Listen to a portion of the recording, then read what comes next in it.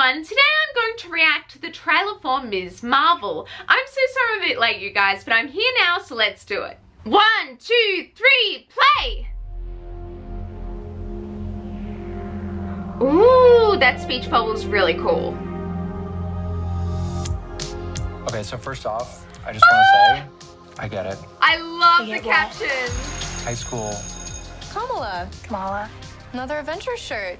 Cute. Ooh. She thinks I'm some kind of weirdo. You were a weirdo. boys. Oh wow, he is hot. You're kind of on my shirt. Sorry. But you're staring out the window in your little fantasy land. Mm, I do that too. Kamala, hey, already? Really? Come on, like, Do I have to figure out my whole future before lunch or maybe they're right? I spend too much time in Fantasyland. it's fine. We all do. It's not you. It's not really the brown girls from Jersey City who save the world. Yeah, they can. They totally can. That's a fantasy Ooh. too. Wow, I'm loving the purple. Did something happen to you? No, why? Did you hear something? Kamala?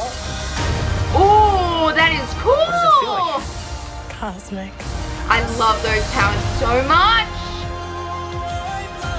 I thought I wanted this kind of life. But I never imagined any of this. Yeah, pretty You know stressful. what you are?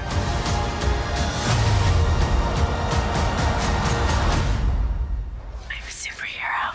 Yeah, you are. I love the enthusiasm. June 8th. Okay,